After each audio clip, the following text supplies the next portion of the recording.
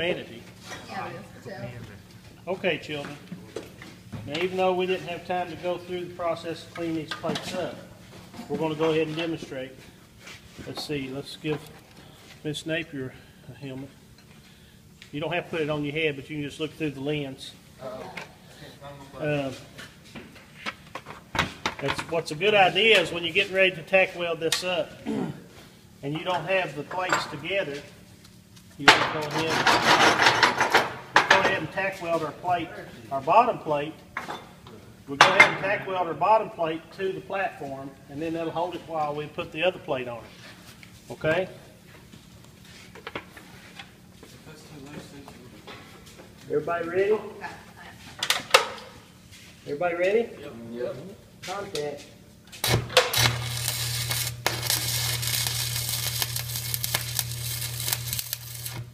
Wanted to put a slight tack weld on there, and that'll hold that plate in place while we set this plate up to weld. Now, if you want to really uh, be sure to get this straight, you take a marker or a piece of chalk and line it up where it's going to be sitting on the plate. Put your two lines there to show where you can set the plate up in the middle. And then you can tack it together. I'd advise you to tack it on each end first and then check it and see if it's square. Ready?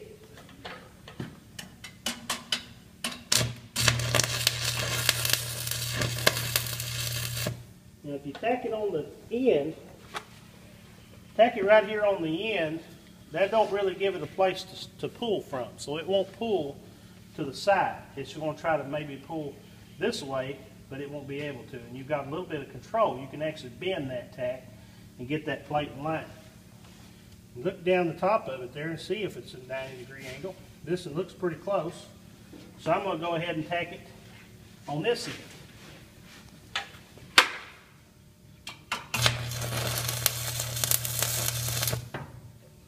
Remember what I said about controlling distortion?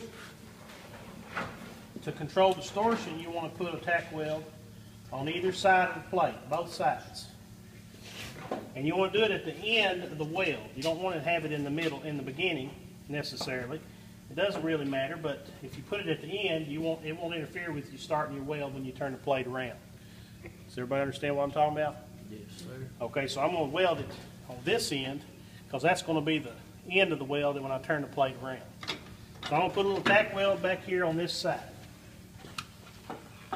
Everybody ready? Yep.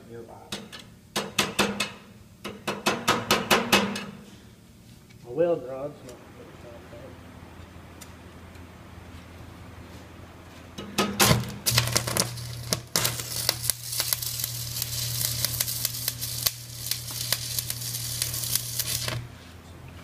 Do the same thing on this side at the end of the plate.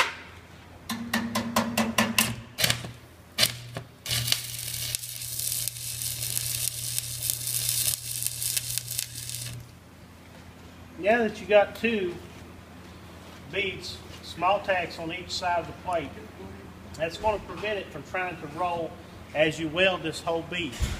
When you run this bead down through here, this plate, both plates are going to get very hot right at this seam. Since you're welding on this one side, it's going to try to pull that together as the metal cools down. It's going to try to roll it up. But your tack welds will hold it on the other side. Now, if this was a, you know, this is the way you need to treat it as if it's some kind of a major project, even though it's just a little T-joint. You treat it the same if it was a, if it was on some kind of nuclear power plant, okay? Now, we're ready to weld our bead. Let's make sure we've got our slag chipped. We've Got a slag hammer? Chipping hammer? Good job. Okay, we're gonna make sure where you start at, you got it chipped off and cleaned off. Now you see the mill scale, that gray material there needs to be cleaned off where you're going to go through the weld zone. I'd like for everybody to watch this.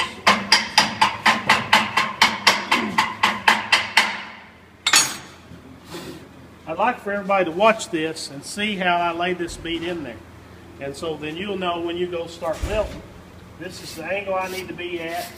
This is how I need to hold the the rod, and this is how fast I need to go.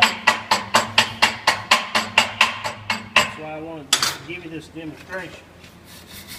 And then if I make a mistake, we're just going to stop the video and start over. Remember, a grinder is a welder's best friend. They can cover a multitude of sins. You can, uh, if you make a bad weld, you can grind it off and start over again. Are you ready? Yeah. Okay, here we go.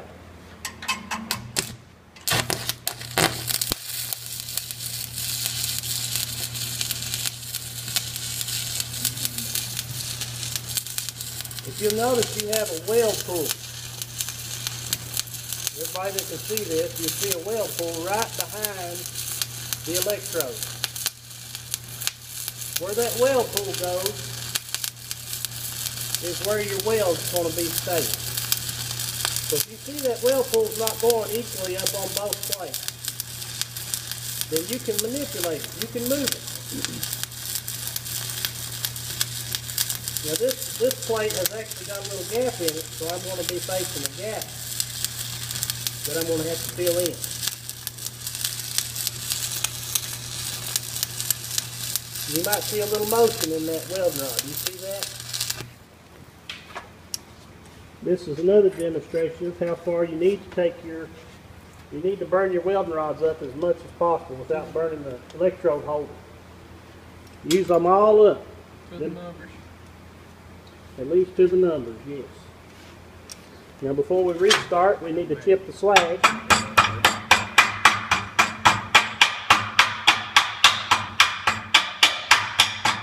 Why do we need to chip the slag off before we restart? Put porosity in it. Put porosity in it. That's right. Wormholes and whatnot. wormholes, everything. So as long as we got a little spot cleaned off where we're going to start back, we're good. Actually, I need a little more amperage. What are we on right there? Take it up to about 119, 120. I'm actually welding 3 8 inch steel. I told you quarter inch. This happened to be 3 8 so I'm a little too close. Want a good penetration here, okay? Everybody ready?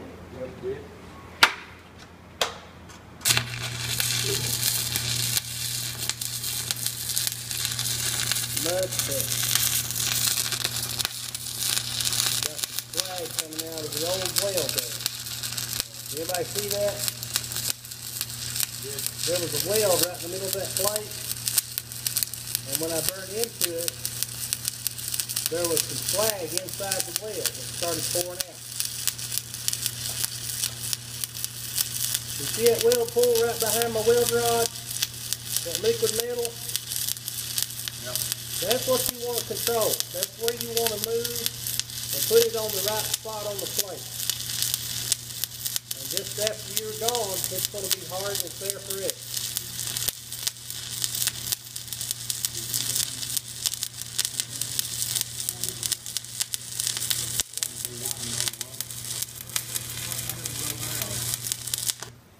Hey, Ronnie, you want us to turn the ventilation on? Yeah, somebody get the ventilation for me. The one in my office. Okay, now, here's another little tip I want you to remember. When you get to the end of the weld, a lot of times that the leftover part there is at the end is going to be a little crater. You actually leave a small, it could leave a small opening, a gap there. So when you get to the very end of the plate, hesitate there for a minute and let it build up. Because you've been cutting out as you come up to it. Hesitate there, and sometimes you might can even go back a little bit just to make sure that the end of it is welded all the way up. I don't like to see the welds run out at the end and not cover the plate. I don't like to see that in the beginning either. I like to see you start at the very edge and run it all the way through till you run off the plate.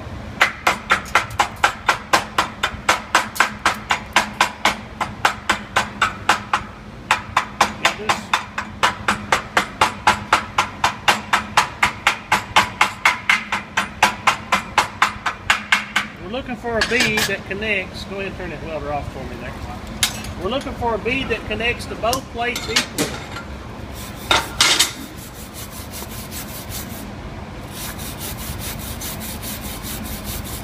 Without overlap and without undercut. That's what we're looking for. So that's a demonstration. You think that looks okay? Yeah, it looks good to me, You can see, can anybody tell the difference? We turned up the amperage about middle ways. Can you see a difference in the way the metal lays in the first part of the bead compared to the way it laid in the last part? Yeah, yeah, ripple more. Yeah, a little smoother ripples, ain't it? So this was a lot better penetration, a lot better weld. It looks like it burned in real good. Okay, that's how you're supposed to do it. So go get you two plates, cut them out, and I want you to do the very same thing, okay? Thank you, Teresa.